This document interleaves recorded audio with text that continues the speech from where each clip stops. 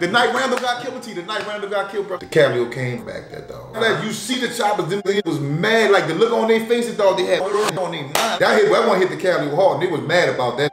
They wanted some other behind Randall. 30 G came in the club, shot the security guard, bought him in the club, locked the door, and went in there looking for it again. Was out for my you heard me? Believe that. For that right there. You heard me? Believe that. About this. Where we was at, and we was selling at the time, so we were dealing with really, really all the monsters of the city. I used to give niggas guns, they'd be like, they'd be like, man, I might have to, I might have to use this bitch and put it. He might have a body on it. I say, we got a body on it before I give it Before you get it, they got a body. Bring Make it back. Sure you bring that back. It's already We hot. need that. We do not loan. You, gotta bring back. you, you been in your lane. You've been around a lot of people. You've been around a lot of situations, and you know us personally. This is not just a dude you met. I need to be with you. Now we've been knowing each other for a while. We see other places. It was always love and respect. So you know. Put it like this. We got it, man.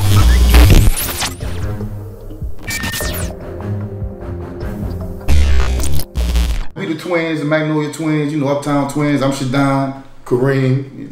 Used to be the Magnolia militia. Seeing so many murder scenes, the visions will haunt you. Niggas ain't sending warning shots from deaths upon you. The street like Buddha, man, I love this shit. If my block had arms, then I'll hug that bitch. And my daddy's side is from the Calio. My mama's side is from the Magnolia. I've been in the Magnolia and the Calio since the 70s. Mm-hmm. In the 80s. I didn't move to the East until the late 80s. Right. You know what I'm saying? So before a lot of people was even born that claimed the Magnolia, claimed the Cal, I was in both of them projects before them. So, you know, you got some people who might say, well, they just came back here in the 90s. No, man. I've been back. I went to school back here. I went and washed clothes and went to the haunted house and we used to run from Donut. You know, I lived in both projects. Like I say, in our time, you live where your mamas and you can live at. We grew up on 2719 Toledano mm-hmm. and 3624 Thalia, Palmer C. That's my my called, we childhood. was called Thalia Death Valley during that during that time. It was so much going on in that cold We used to come home from coming home from school in the Cali, man. We'd be stepping over third things in our hallway. Don't say nothing, little twin. You know Don't what I'm saying? nothing, Y'all, y'all remember Randall Watts? Yeah. Yeah, y'all remember Randall Watts, man. Say Look, Randall, look, Randy used to get us in the hallway and crap us up. Make us tough and shit. Make us tough. He ain't trying to fall over, you know, make us tough. Yeah. Yeah, make us Yeah, tough. and remember shit. him. Yeah, definitely. Yeah, man. I, I stayed in the Cali about, I probably would have been a cut boy. Cause I stayed right there in Thalia Coatway. And then, you know, we was all in the same class. You know, Randy Livingston, me, T Dub, Ernest Marrero was Ernest Marrero, uh, uh, Randy Livingston, People. people. Who was the cut boy? Cup War was a group of niggas in the Calio. Right. From Durgeon War and he rattled. There was some vicious hustling, vicious hustling, killing get- Yeah, it was real. Some real It, it was in the era of uh, gangster around that time. after after gangster. After game, but they was around when gangster was around too. Yeah, but it wasn't a couple. It was just back of town at that time. Yeah, it was just back wasn't of town. Cup You know, Cutt Boyz came, I think, when the music came in. See Murder came with the Cup, but it was the same group of dudes, and all of them was about murder. About their money. What- about their money. what- Randall was in the Cutt Boyz. No. I wouldn't necessarily say that. No. You know what I'm saying? Damn, so okay. I, He was like an OG. Like Yeah, he, he was he OG. was he was like an OG. he, damn, so there was some other. But he was a cut boy. Like they called him a cut boy. What he used to be, they call it the cut right there. Okay. So they You come him- out roll the tab, you Cut go to Boys. that driveway. That's the cut. The right boys there. in that cup right Yeah, there. there was the cup. They had that when they had the fire. Uh, yeah. Nobody ever said that either. Yeah, Nobody right. ever that's what they call. That's what they call them the Cutt Boyz, really. You But dig? town had their own shit going on too. You know what I'm saying? You had some hard hitters from front town too. Yeah, Yeah, I, they I, did. I heard it- they just started calling the FTK ladies. Yeah, front of town. Look, Slam was a, was a legendary motherfucker from front of town. You talk about the Calio, bro. Wango, Spiggy, Randall, T Dub, uh, T, Turbo, all of Randall. them It was gangsters, man. It was real life busters. Randall Watts was a suspected murderer and drug dealer, gunned down in a drive-by shooting. The night Randall got killed, T, the night Randall got killed, bro, speaking on that, the Calio came back that dog. Yep. In a van.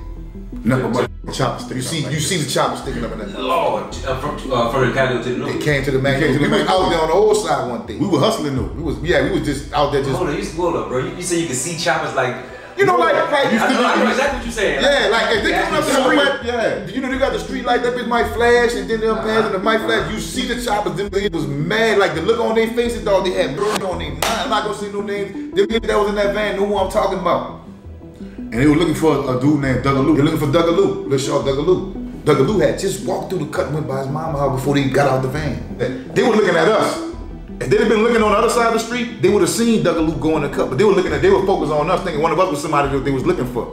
So when they got by us, They got out the van and uh, it was like, twin, y'all seen Dougaloo?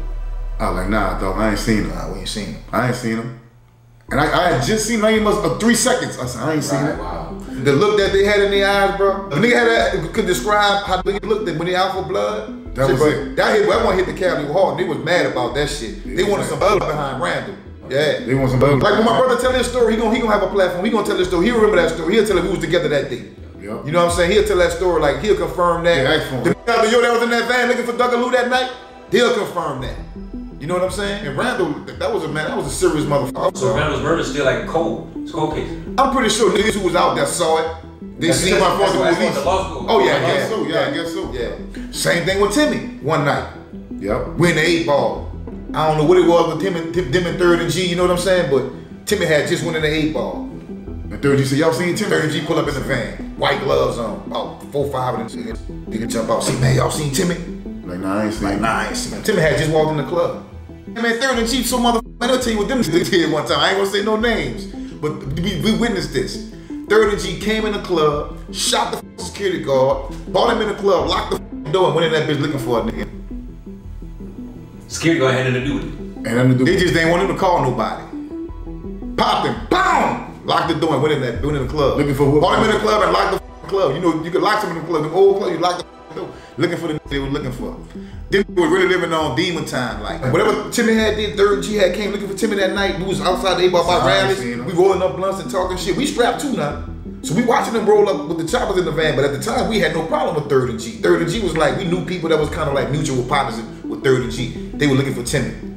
And at the time, like I say, we never really had a shootout with Timmy. You know what I'm saying? Timmy was cool. He was cool with his sister, and th- th- that that was after our little situation we had. So, But I still ain't gonna be no shit there. like, yeah, he in the crowd. Go get him. I'm like, nah, man, I ain't Nah, we seen. ain't seen him. I'm not gonna have to. You know, I believe in karma. I believe shit. When you do up shit, it come back on you. So I try my best to keep it 100 in the streets, no matter what. I'm gonna say what I gotta say. I'm gonna tell the truth. I'm not gonna lie. You know what I'm saying, Wayne? I'm not gonna lie. Gonna tell the truth, don't it? It- Just like my, just like my teacher say, man. I'm gonna tell the truth and let the truth fall away at me.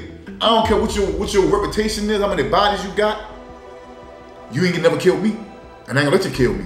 So I don't give a fuck about. That's why people like, well, when gangsters was wilding y'all, probably y'all wasn't worried about them coming rob y'all. Or, man, them dudes ain't fuck with us like that. Nah. You know what I'm saying? They ain't, we ain't had no problem with nobody like that. And at the same time, what they probably didn't know was, we like we didn't give a fuck. We didn't give a fuck who your was. Who was gonna come around here? We was gonna try to leave you around there. It don't matter who you was. My big brother, my big brother was so aggressive, bro, and his mind thinking. I, I don't want to say paranoid because the way he was thinking was the way he was supposed to think. Because, like I say, we didn't have a reputation like the new side had. But the aggressiveness, if you played for shit handled with swiftly, that was all him. He instilled that in us. You know what I'm saying? We, so, we, we, we, we- it, was, it was it was it was on ten. So and on top of that, we was a family. Shoot out the street lights and off light. Now spin a bend and later to get down. Nothing exciting shit. I tell you what, you better move like lightning. We beefing and they still won't hang. Well, alright then. like earlier, you know what I'm saying? It wasn't never know like with a Cali and a Magnolia really couldn't get along like that. Like Gangster said, that was true when he said they used to hang. They was cool at one time. Like I said, always probably some underlying shit with somebody ain't get along, but for the most part, I, we was just fortunate, bro. But like my my- my last name is Matern, I'm Matern, so I got a big family in the Calico project.